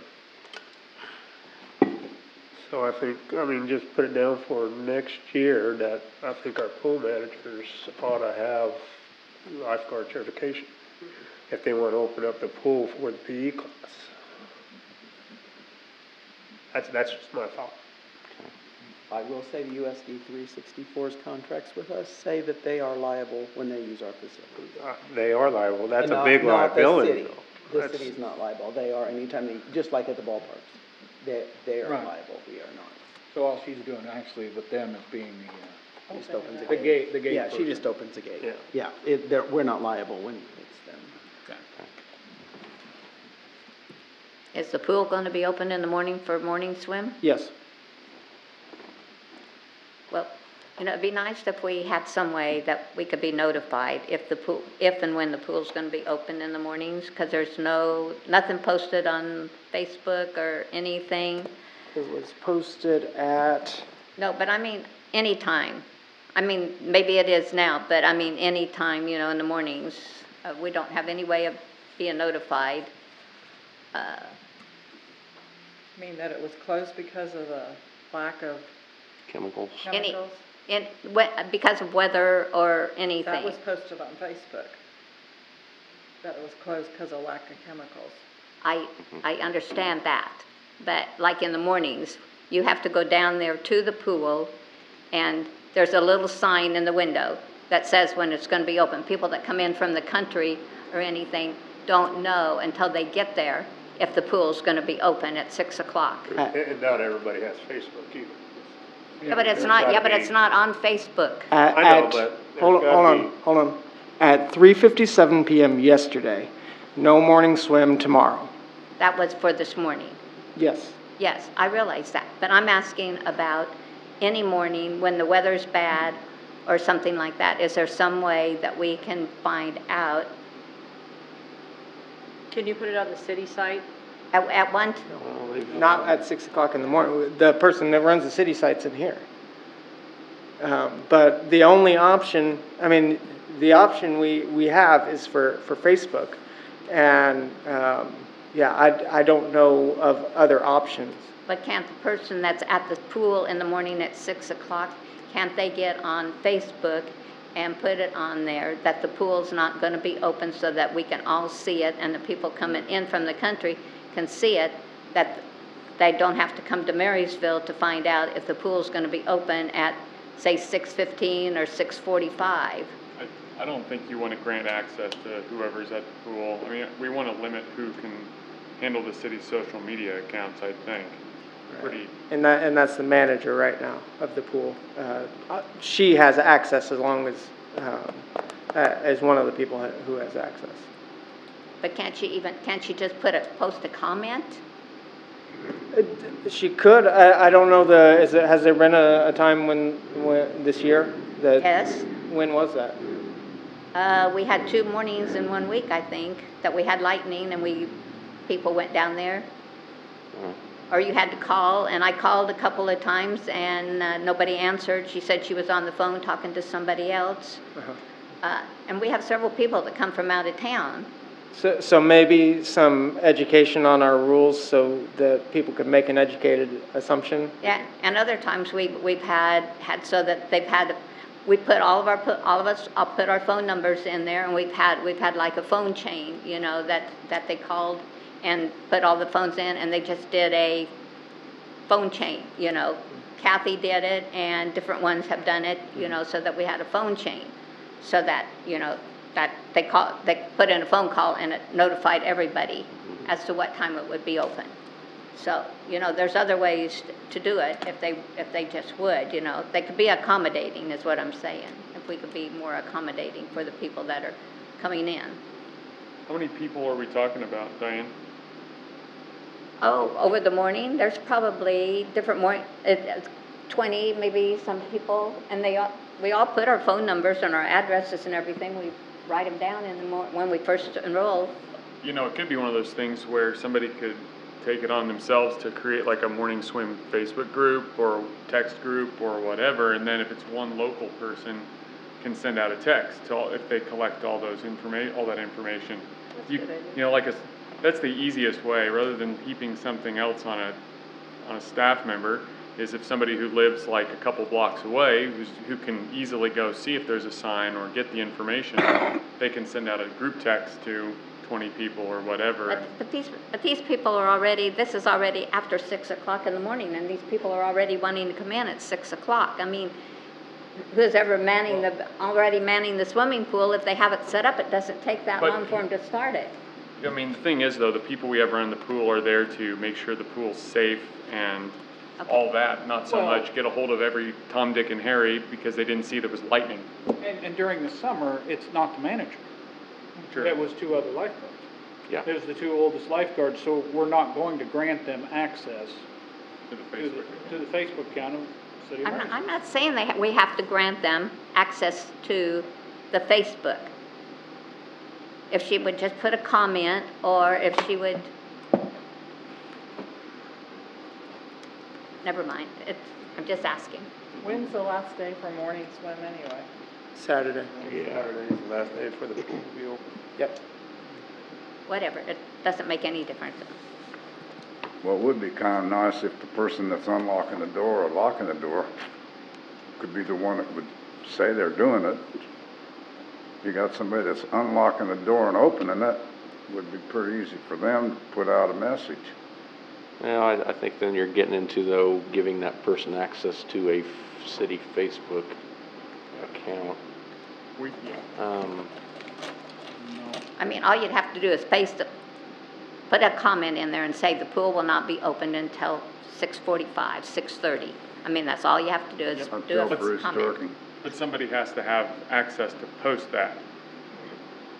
I I guess can, what I she's can, saying I is can if- put, a- I if- can put a comment If one of them there. just comments Into on an a, existing if we just stream. have kind of a post out there that says, is the pool open, and then, People make comments and say, you're doing a great Comment. job, or, or something. I mean, I, I can put a comment on Right, Facebook. but Well, does- and you- if you make that comment, doesn't it go on whatever thread you make it on? Correct. So if, if you made that comment, if your thread is two weeks old and you Yeah. make that comment, they would have to know to look underneath that thread to You, see you go, they would. you go, you go into Marysville, Marysville Aquatic Center, and if there's a comment there, everybody sees it if that goes into that, But if into it's an- Marysville Aquatic Center. But if it's an old post, it gets bounced down the web. I mean, Buried. it, it, it takes a not insignificant amount of work to go find that latest comment in a lot of Yeah, cases. I- I'm well, not but if you went 100%. specifically to, you know, Marysville It- Aquatic Center, whatever it's under, um, should be easy to find, I mean, they don't post that tremendously often. I, I wouldn't think it'd be, it, you'd probably have to scroll for a little while to get to it. I, I see what you're saying. I, I think the That- easiest, this is a, sol- a community solution where the community of people who swim in the mornings can, can create their own, like, text groups or Facebook groups or whatever, communicate with one another, help each other out. And I think that's the cleanest, easiest solution where we can't, because then there'll be a case where we didn't post one morning because there was some technical thing and somebody's extra mad because we always post. It, just sets up a whole nother level of bureaucracy that the swimming pool doesn't need to mess with. Yeah, but I don't know all the people. I don't know, have all their phone numbers. Well, then how do we know they're even having problems? If you know two people that are, then call those people. I mean, why is that the city's responsibility? If they're, you know, people who are friends of yours, then by golly, help a friend out and you do Well- it. well, we City do. doesn't need to be doing that. Well, We great, do. then there's no problem. Moving on. Because I've gotta go down there and find out, Well, you know, maybe, or call them, and That's they don't great. Is answer. there any I way, think and this they'd is, this appreciate is old school, Huh? that we, c- this is pretty old school, but an answering machine or anything like that? I mean, voice, yeah, voicemail box. voicemail box? Mm-hmm. That doesn't sound like a bad idea. I mean, I don't know what, they, they probably don't have an answering machine down there. forget these how- days, they do. Do they? I forget how you change that stuff though. Yeah, I don't And know. has she done it this year? She didn't. You had to call her, and if But she answered then the again, you're phone, gonna be fine. given, an Not- you know, not. employee access to your No, because that's. mess, that to your phone. answering system. Forward to or the city administrator's cell phone till a certain time. Don't worry about it. We're, that's I'm thinking, I mean, if you had an answering message, you know, and you just recorded it for the day, then anybody wanted to call down there and find out the That pool would be was nice. closed. Um, But It's fine. We're, we're fine. But if somebody's down, I mean, when they're not open and somebody, I mean, are you trying to call down there and, and the phone line's busy, is what you're saying a lot of times? They're out on deck, they aren't gonna answer because they don't have the phone with them, basically. Okay. It's in the office. Yeah. Yep.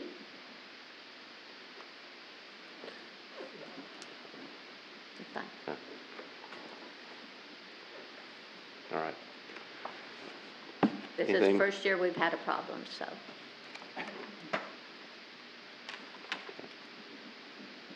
And maybe it's because, I mean, this year was the first year that we had a couple, we kind of had a couple different people doing it, kind of shared, had guards doing it. I know we had had a dedicated person kind of do it in the past, or somebody that, that knew a lot of the people that did morning swim, and so I think they kind of took it upon themselves to notify them. Um,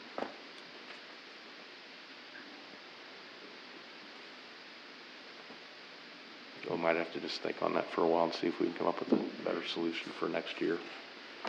Um, anything else on Parks and Rec? Some- Rito talked about what I brought up. I mean, is that everybody?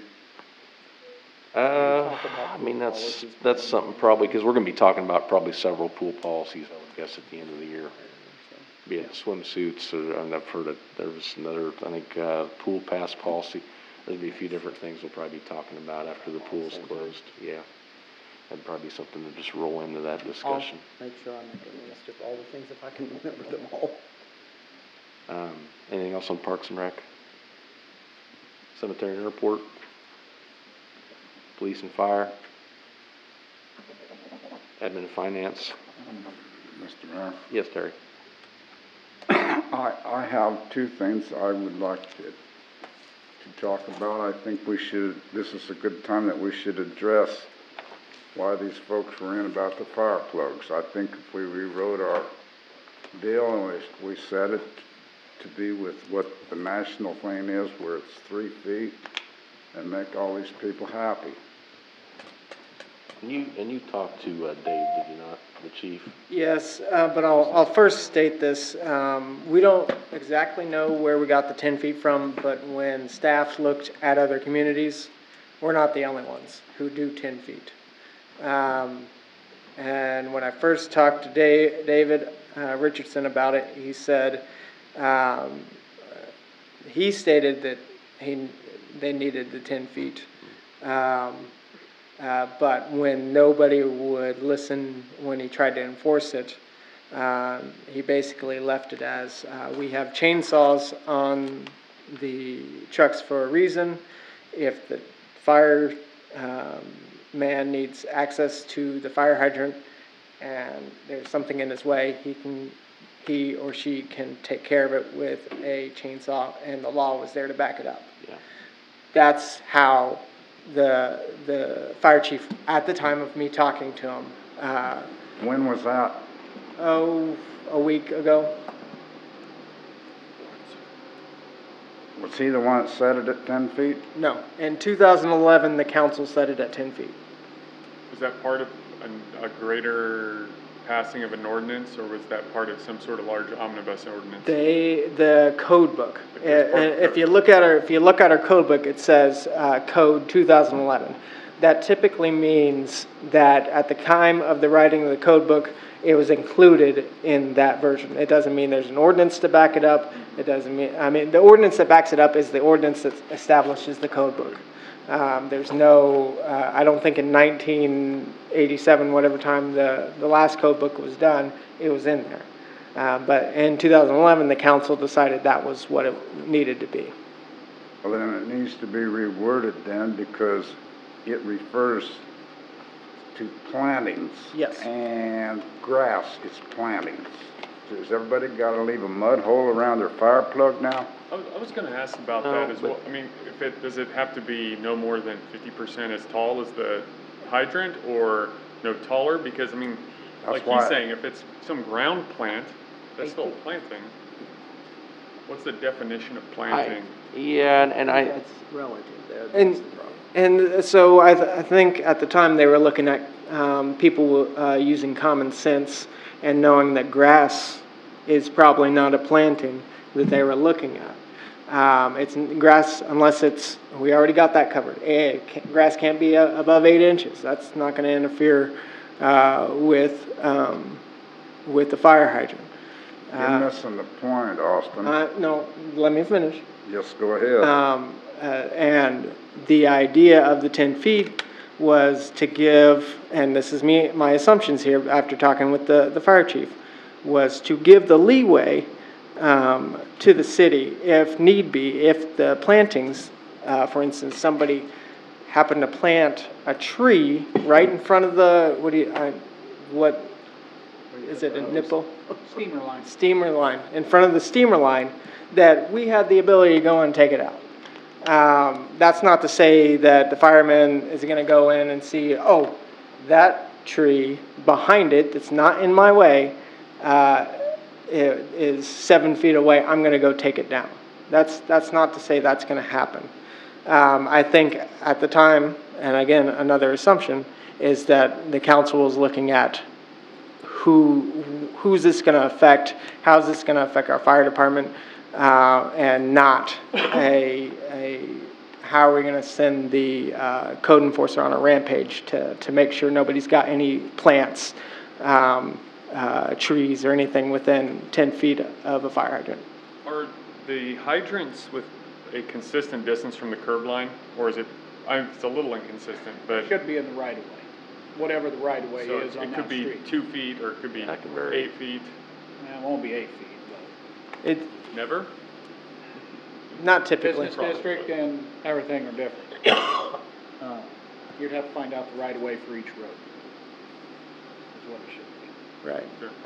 Sure. Um, yeah, I- I mean, it- obviously, it- the, whoever's plant, uh, putting in the, the fire hydrant's not gonna get it exactly two feet or five feet away from, from the, from the curb, but typically, it's, a- it's a, uh, not too far from the curb line, but far enough that if somebody poten, I mean, it- you'd have to veer your vehicle into it to, to really take it out.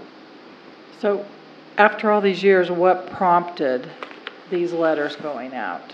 Um, uh, one of the council meetings, Are you referring to what I said? well, yes. I mean, that, that's when it got brought up, so. that- Definitely got brought up at It got brought up a couple time. times, and so we and so Will went around and wrote up fire hydrants that were in violation according to how our code read. Um, Like I say, it's, it's nothing that's been enforced, it's one of those things that I think the fire department, I think when they wrote it, they erred on the side of giving them plenty of leeway. I think basically, if, if a firefighter shows up and say there is stuff in the way and they start cutting, I don't really want them getting out a tape measure and go, oh, I'm only allowed to cut three feet. If they cut two or if they cut five, I don't care as much as long as they hurry up and get it done because there's a house on fire, which is the main concern. Um, I think that the ten feet gives them leeway, so if they're out there and they step on somebody's manicured corner, that we don't have somebody come to City Hall saying they stomped on my bush and and this and that, because they should know that, look, I, I'm not gonna say, that I, I like people beautifying their corners, but they also have to realize it is a fire hydrant there, and if there's a fire, the guys aren't gonna be ginger about it, and I don't want them to be. I want them hooking onto that thing and getting the fire out. So your, Um, your kind of take is, you can leave it as is and then gauge the enforcement. I think that's basically how it's been for years, is No that, penalty attached to it, yes, Well, as long as they're, it's not like next to a large tree, yeah, you know, you put a tree in in front of it, and then it grows to be fifteen foot around, and you Yeah. got like four inches to the hydrant is Yeah. hiding, you know. That's an extreme, but there are different things you can put in there that are aggressive and that grow fast. yeah. Mm-hmm. You I mean, realistically, You know do what, they- do it at your own risk. Realistically, It's do they need ten? No, but Can't they you. do, they don't need ten realistically, but they went overly broad, and I think most of the other communities we looked at did the same thing, just to kind of make sure that they had plenty of leeway, that firefighters could do whatever they felt that they needed to do, and they had plenty of radius around that thing to do it. Then why can't we rewrite that code so it's a shorter distance? and Well, make that's what I'm these saying, people I, I happy? don't think that they, I don't think the chief really wanted to see it reduced. We can just do what we have been and kind of try to kind of keep it at bay, like, well, what Mr. Kramer did. Absolutely.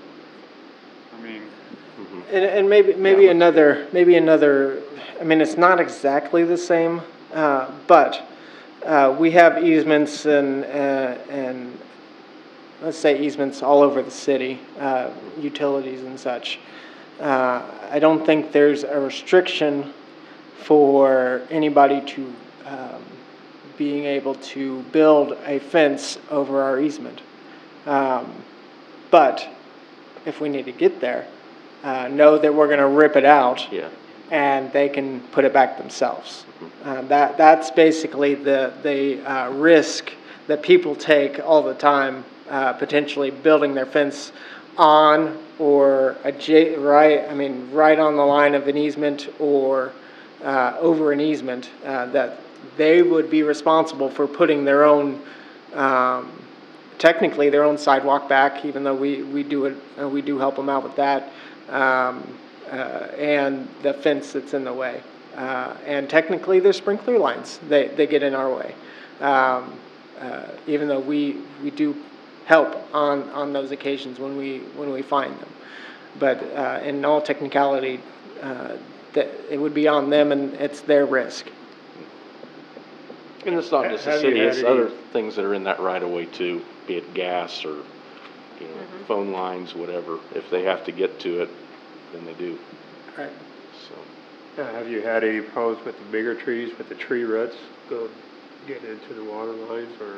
Not, not necessarily, because the water, and surprisingly, the water line to the fire hydrant isn't, isn't huge. Uh, I forget if it's two or, like, it's just, it, it's a couple inch. Um, so for the, the hydrant itself, I mean, is the biggest portion of that, and usually the water line's straight up and down, uh, to, uh, and There's- attached. There's no concern with tree roots or nothing? There, I mean, I'm not gonna say hundred percent no, uh, but, uh, I, I'm not gonna say anything else, but I mean, I'm just saying, uh, not really. Yes, Terry? I still believe we have a lot of taxpayers here that try to keep their yards nice. Yeah. We have, we had two of them in here tonight. Mm. That this was, this was a tough deal to get a registered letter, somebody that's never done nothing wrong, because we bought a guy a fifty thousand dollar truck that he could have stopped and asked him about it. It was handled completely wrong by us. Oh, and Oh, it- no, it's, that's a policy, I mean, he's not just supposed to be driving around just having a conversation, I mean, there's gotta be documentation behind it, I mean, it's how we generally handle, I've gotten those letters before, it's generally how it's handled. Um, this, basically. I don't know what, I mean, and then they came here, and now we talk Yes. about it, and we say, you're right, we shouldn't Yeah. be making them, you know, do this, because this is why it exists. That just proves the system works. I Yeah. mean, right? well, we Yeah. went through the process, yeah.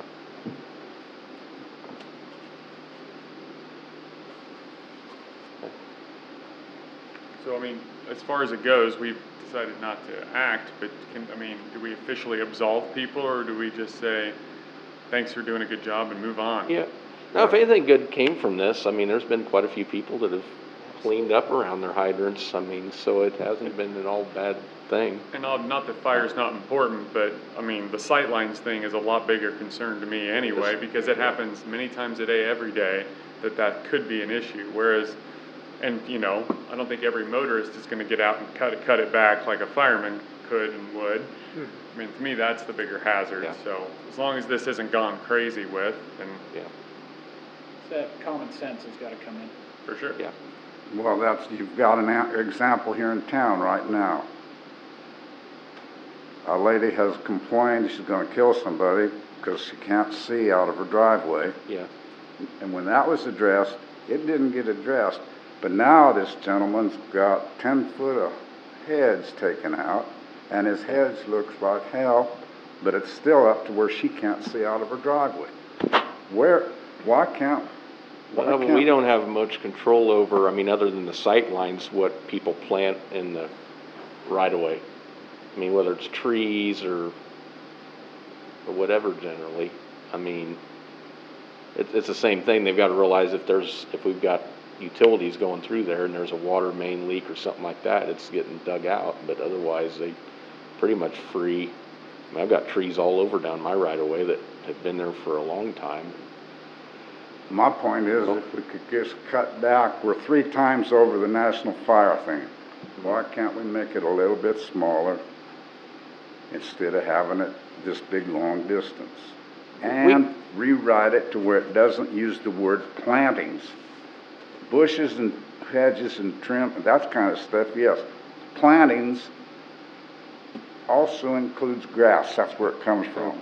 It's a seedling. Yeah. We have to rewrite so it is, it is fair to the people. And if we can't cut it back and you gotta have ten feet, Yeah. that's overkill, but if that's what you want, I can understand. I myself would be apt to defer to the fire department. And if the fire department says we don't need ten feet, then fine. And if the fire department said, no, we would like to keep that ten feet so that we know we aren't gonna get chewed out because we tromped on something that was five feet away from the fire hydrant, then I'm apt to leave it as it is. We can be fair to the people by showing discretion when Yes. situations like this come up. That's where we're being fair. We don't have to revise it, I don't think. I think we're being fair in this situation. I agree. Okay, enough about the fire plugs. I- I have one other thing on my list that I wanted to talk about, because I haven't had a chance. I am on the Administration and Finance Committee.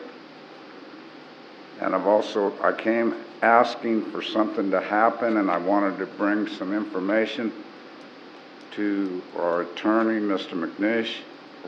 And he didn't get it because he wasn't at the meeting, and about two meetings ago, we went ahead and went ahead and did something without doing what was suggested at the meeting that we find out if anybody else has replaced a charter ordinance with bits and pieces from, from other things after we've opted out.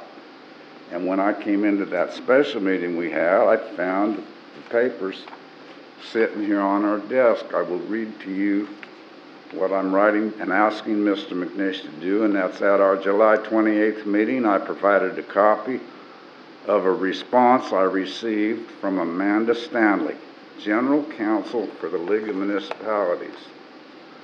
Per Mrs. Stanley's recommendation, I request that John McNish, that he does the research on repeal by implication to see if this has been done in other cities.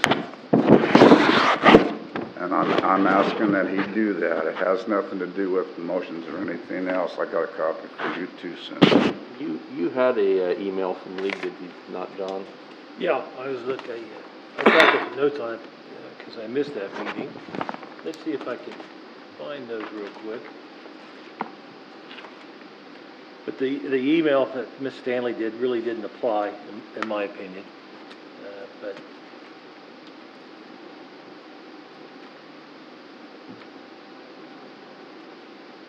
Well, You would just find out if other cities have done it.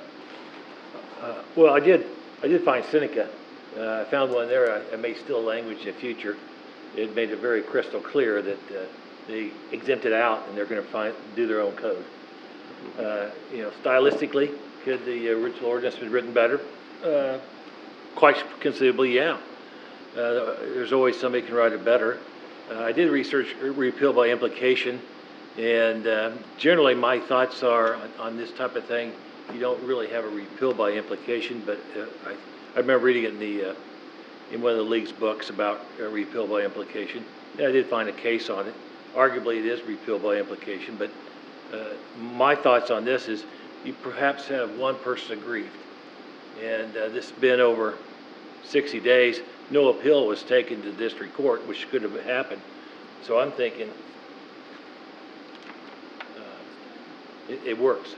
And I, I think the uh, Seneca ordinance, I would, if I would have seen that back when I, when we were drafting this, I would have done the same thing, saying, stop, uh, you know, you want to be transparent, and that's, that's the reason why the extra language is in there, to be transparent to the, the public. But if it would just said, uh, hey, we're repealing it, we're not gonna tell you how we're gonna do it, we're repealing it.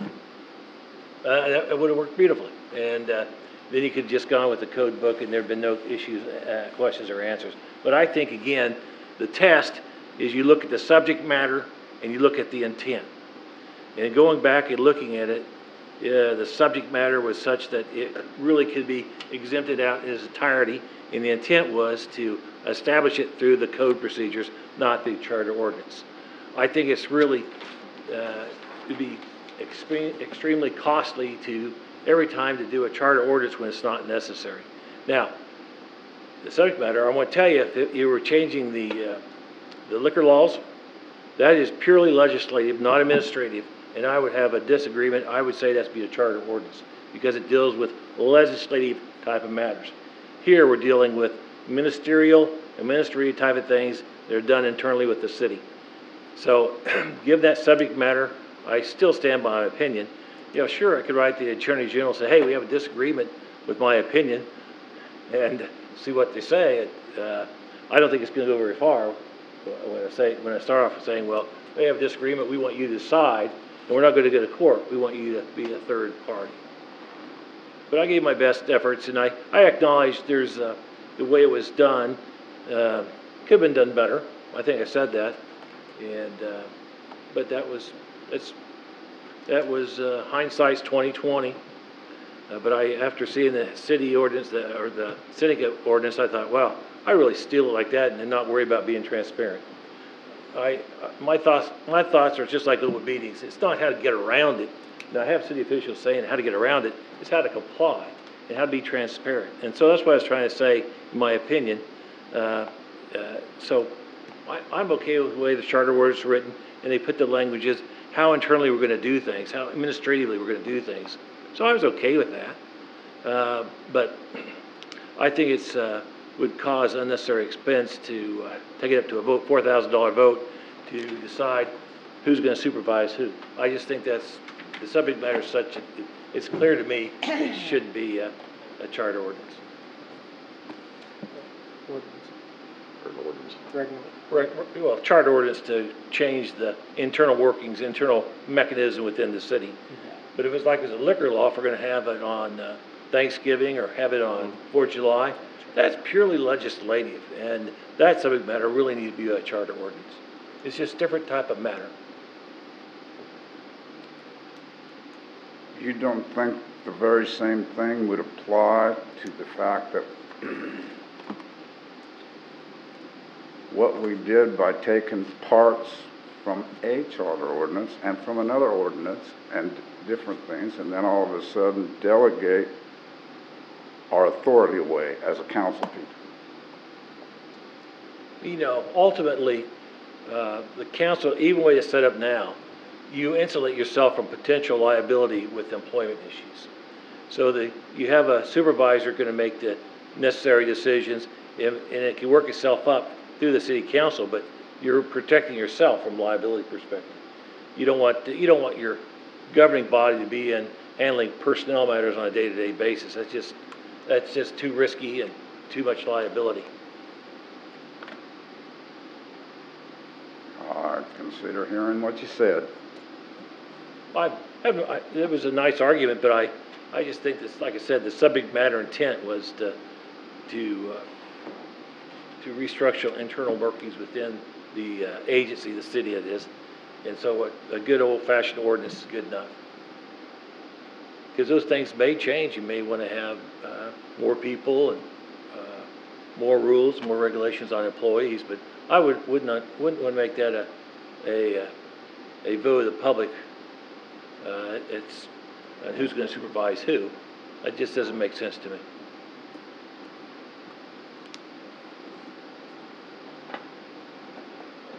That's all I had. All right.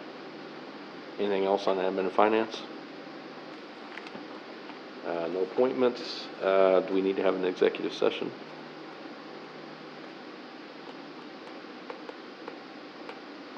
Yes, no? Yes, Terry? Done any more talk, have you had any more contact about getting us a health officer? I tried talking to the health department a couple times today. I didn't get through to them. I know they're. s- You did what? I can't I hear they're you. super busy right now. I tried to get a hold of them a couple times.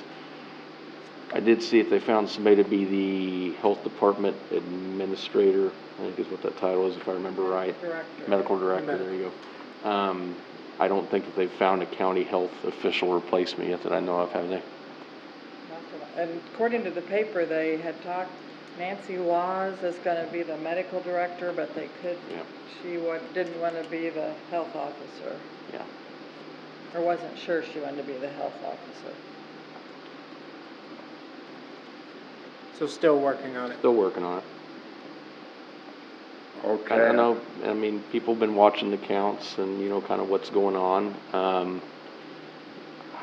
and Would I, you want to be the health officer in this? oh, you're gonna be getting yelled at and screamed at and, yeah, But that's it's the not fun. problem. yeah. And, and the counties didn't listen Yeah. to their health officer No. when they had them, so. You can have the same health official saying the thing to three different governing bodies, and they'll choose to do what they want to do anyway. And it's local governments and on up to state and governors and everything else. They choose to listen or not to listen to the health officials. Um, You know, I mean, our counts are cold and steady, but I mean, what worries me is that I hear more and more stories of people having to be transferred miles and miles and miles away to try and find an open bed because the places we normally transfer to, Lincoln and Kansas City and Manhattan, are full up with, with regular patients and COVID patients. And they do not have the facilities and the staffing to handle that. And if it gets much worse than what it is, I don't know what the options are gonna be. I mean, they're gonna be the point of, then you get into that deciding who gets the care and who doesn't when you have a limited amount of resources. And that's where we're rapidly heading if something doesn't change, unfortunately. And I wouldn't want to be the person that decide who gets saved and who gets the best care and who is worth spending the time and resources on and who is not going to make it and is a waste of resources. That is not, that's not the position you want to be in at all. Um, like I say, it, it- right now, if you want to be transferred to a bigger hospital, you're gonna be waiting until they can find a bed somewhere that opens up for you. And hopefully, it's opening up because somebody's getting out. Sometimes it's opening up because somebody's going, didn't have a good outcome. But unfortunately, that's, I mean, that's just where we're headed right now. Um, I mean, I, I don't know what to say. I mean, the most important thing is that, you know, unless your doctor tells you that you shouldn't, you should get vaccinated. I mean, something like ninety percent of the people that are getting critically ill with this are unvaccinated people. And something like fifty percent of the people that in the country are vaccinated. So if you got 50-50 split vaccinated, unvaccinated, and ninety percent of the people that are in the ICUs are unvaccinated, that tells me that the vaccine does something. Because otherwise it should be a 50-50 split. Um, and it's not just COVID patients it affects, it affects people that are undergoing cancer treatments and get sick and then they can't get them into the hospital or, you know, or they break a bone or they're in a car wreck. It affects a lot of other things besides just COVID patients. and I know I'm kinda going on a rant, but Yeah, it's, good one. but it, it's, it's serious, I mean, Oh, it's yeah, serious. it's very, se- it is Um, very serious, but So, now if we find a health official, are they gonna tell us anything that we don't already know from reading the newspaper and going on Facebook and seeing the counts and just knowing in general? I mean, we've been doing, through this for a year and a half, we mm-hmm. know what is going on. I, would I like to find a health official? Yes. Would I wanna be a health official and go out there for getting paid nothing to get screamed and yelled at by everybody? Probably not because they have not been nice this last year to those health officials across this country as a general rule. So, anyway, next. Is there anything else on admin and finance? Appointments and wage determinations. Uh, in well, case you oh, lost your actually, spot. uh, do we need to have an executive session? That's where we're at. We have to have an executive session. Do we need one? Do you want to have one? I don't know, do we? Does anybody want to call one? Second time you brought that up. No. Nope. Nope. Okay, All right, Okay, now we're at round table. round table? Mhm. Bobby? Nothing. Crickets. Todd? Good. Diane? Uh, I have a couple things. I just came from Legion and they're working on the wall. And so, uh, Dave Woolley wanted me to say that they would like to have, they're gonna have a, uh, shuttle bus and they would like to have it over here, over by Bobby's and that little indent thing there. And they're gonna put some cones there and it will be there, uh, let's see, Thursday, Friday, and Saturday from nine to four. And it'll be parked there, so they'll have some, some pi- some pylons or cones there, and it'll be parked there. I think it's on the hour or whatever, so, and they wanted permission to park it there and to pick people up. So, and they'll put, they'll put a sign, they'll put a sign, they'll put a sign, they'll, they're, they're making a sign or something there that'll say shuttle bus or something like that, so hopefully that'll be okay. So, does anybody have a problem with that? I don't. Okay, and then they also need volunteers yet.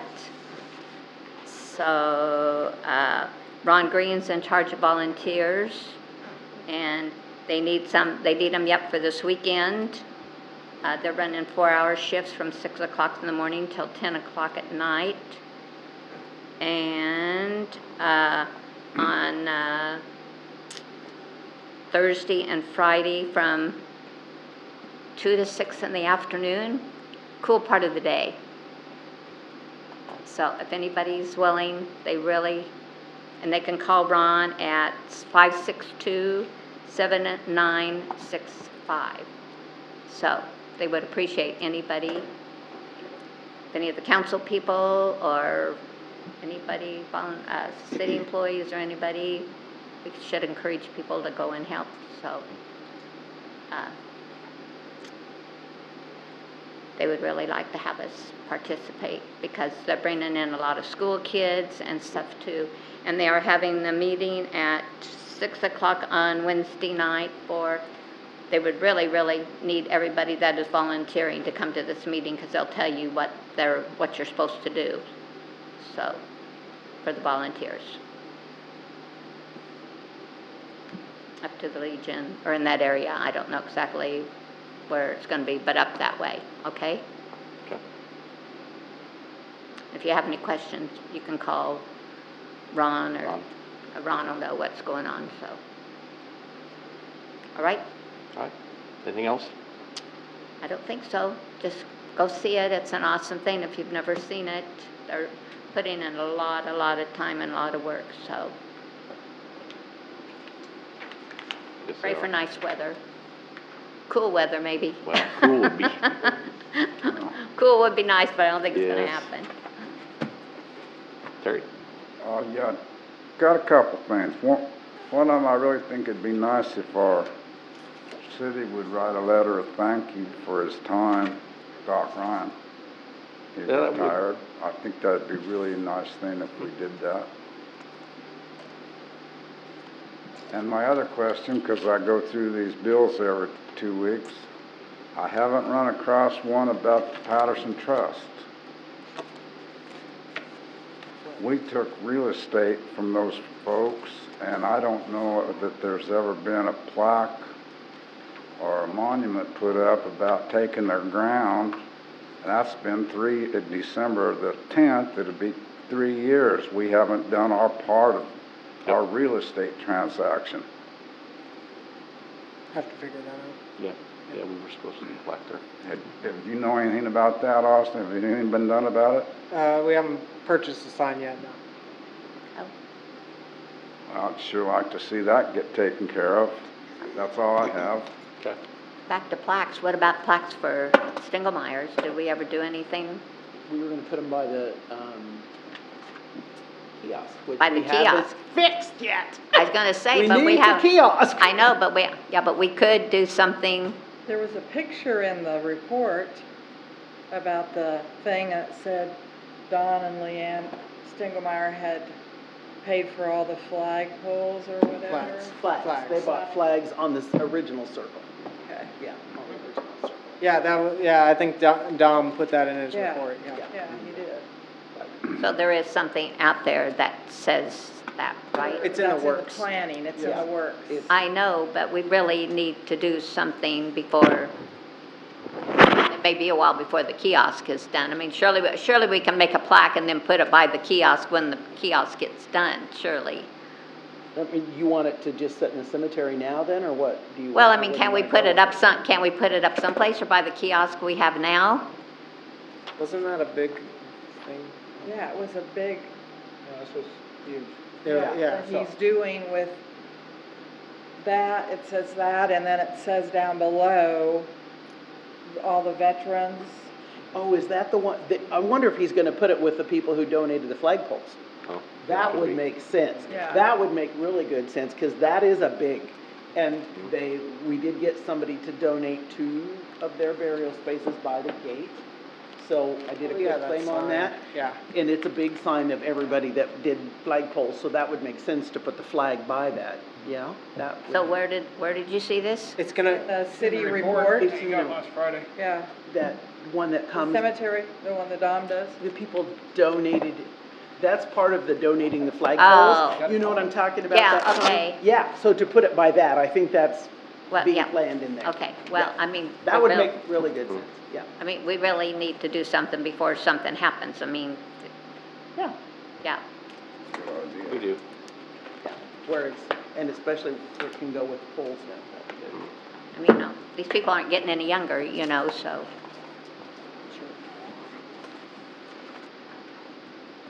Mr. Mayor. Yes, John. I'm gonna hit the topic since Yes. Terry's still here. I pulled the uh, 1987, uh, went and dug out to the salt mines and found the very, the old, Old, old. old one. And uh, I also had 2011 version.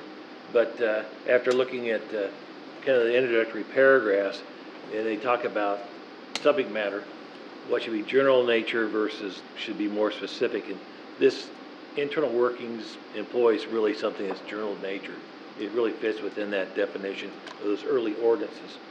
And then I look back at Charter Ordinance Six, I'm thinking, maybe it's too critical of it. It's more like the Seneca ordinance I talked about. It says, hey, we're exempting out from, uh, the, the uh, the statutes. And by the way, we're gonna provide, uh, additional provisions. And by golly, you did. So, I think, given, uh, look, going back and look at ordinance number six, that old, old ordinance, I think, uh, back in nineteen eighty-seven, I, I mean, the intent's there and, and the subject matter's there, I just think it's, uh, it can be uh, dealt with through, uh, through a general ordinance. And I, you know, I brought this for the purpose of a, I thought we'd have a executive session, I thought maybe I'd go back to some of the history, but, I I thought popped it open here, and I, I think historically, I think you're A-okay, and you're, the city's on solid footing, and, and uh, like I said, if it ever gets challenged, you know, you could always do a charter ordinance, and, but then, you know, sure, if you want to incur four thousand, six thousand dollars for an election on who's gonna supervise who, but that's all I have, Mr. Mayor. Okay, thank you, John. Keith? Crawford, No. Colleen? I don't have anything. I mean, my, s- I kinda said my spiel, so, yes. To adjourn. Second.